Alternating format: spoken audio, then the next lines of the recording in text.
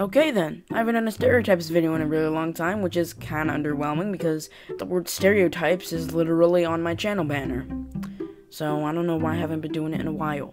Like usual, stereotypes don't apply to everyone, but I'm sure you already figured that out by now because I said it in literally other past video and there hasn't really been any drama about it, which there shouldn't be considering my videos aren't even really that good. Also, I'm using Soundsmith music for this video, one that was not uh, available for download on SoundCloud, and I had to use SoundCloud to MP3 in order to get it on my computer, so if there's ever a problem with using it in this video, I can gladly delete this video and just re-upload it without the supposed copyrighted music. I don't know if it's copyrighted or not. Alright? Alright, let's do it. Oh yeah, and also I'm not doing every single melee weapon because there is a lot of melee weapons in Arsenal. Like, there is a lot, so I'm not doing all of them. So if your favorite melee weapon and the one that you use isn't here, I'm sorry, but I guess it just wasn't that noticeable for me to put it in. Okay? Okay, let's do this.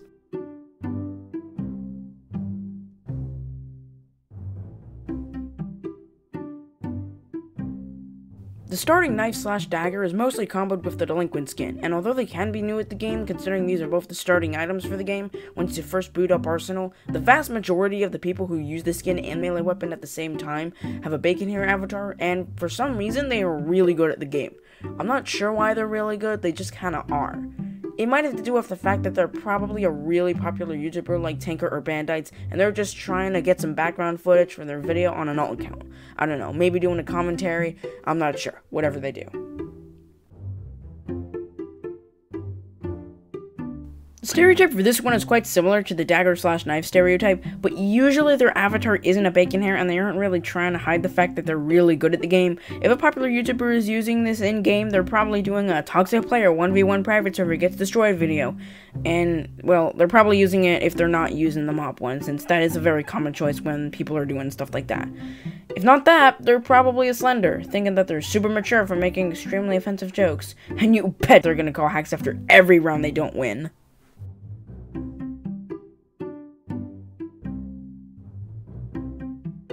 This person's just kind of cool.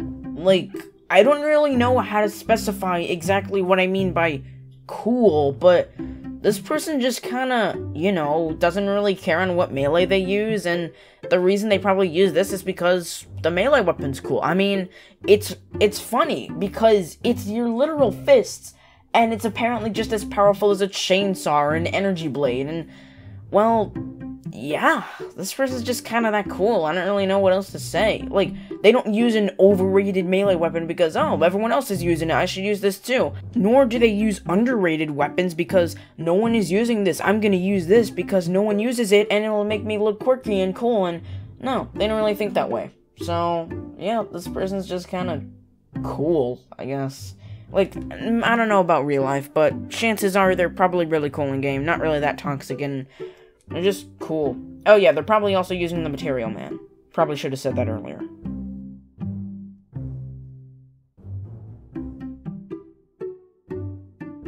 So, I kind of had a plan for this weapon, in which I would talk about that one glitch that's been going around in, like, the past months, about how when you use this melee weapon, if you jump with it, apparently you go a lot further than other melees.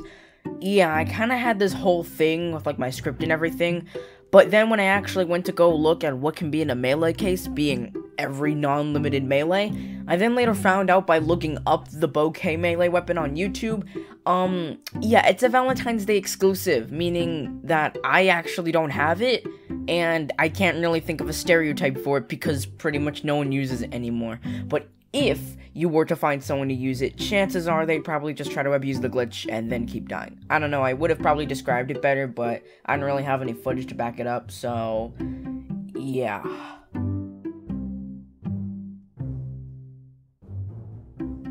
At first in my script, I was going to question why people use this melee weapon in the first place, because, I mean, to be honest, it's really just the fisticuffs, but worse. I mean, it literally serves every purpose that fisticuffs does, except for the funny part, so it's really just the fisticuffs, but worse. But now, honestly, for that exact same reason, I'm really questioning why this melee weapon exists in the first place.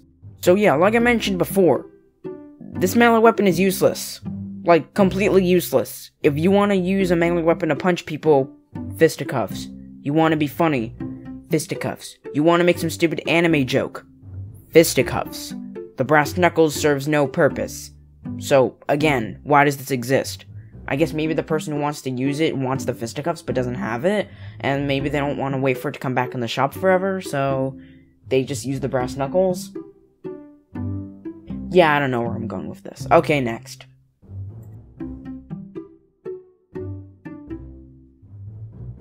Honestly feel like saying that this person doesn't take the game seriously is the right choice of words, but then again, it's really not. This person doesn't take the game seriously, but more so doesn't take you seriously. The reason you'll only want to play Arsenal with this guy is because Arsenal's the only game where when they're trying to hinder you having a good time, Arsenal's really the only game where they can't really do that. If you're playing Piggy, they just camp the exit door or grab an essential item and purposely not use it.